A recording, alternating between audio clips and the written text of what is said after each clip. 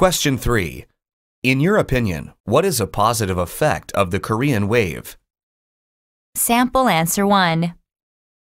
I think the Korean wave has helped introduce Korean culture to the whole world. These days, many foreigners are big fans of Korean dramas and TV shows.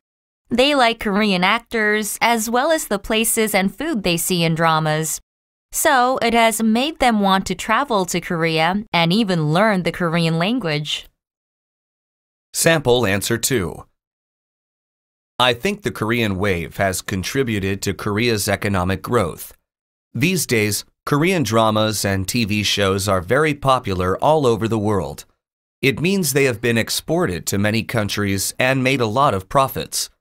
It also has led to an increase of foreign tourists, so we have earned a lot from tourism.